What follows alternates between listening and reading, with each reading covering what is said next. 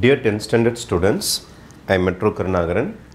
In example 8.26, if probability of A, B, A intersection B கொடுத்துட்டு find the probability of A union B கேட்டாங்கன்னா there is a theorem called addition theorem of probability.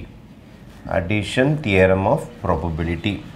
Addition theorem of probability என்ன சொல்லுது அப்படின்னு பார்த்தீங்கன்னா by addition theorem of probability probability of A union B is equal to probability of A plus probability of B minus probability of A intersection B.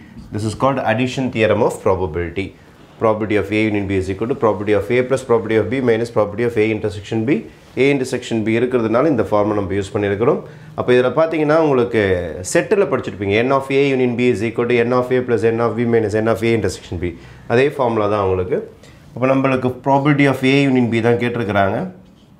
இப்போ probability of A answer zero point three seven probability of B answer zero point four two minus zero point zero nine இதை add பண்ணிங்கன்னா you'll be getting nine zero point seven nine minus zero point zero nine minus பண்ணிங்கன்னா zero point seven zero பாயிண்ட்டுக்கு அப்புறம் ஜீரோக்கு value இல்லைன்றதுனால zero point seven will be the answer for property of A union B. Okay.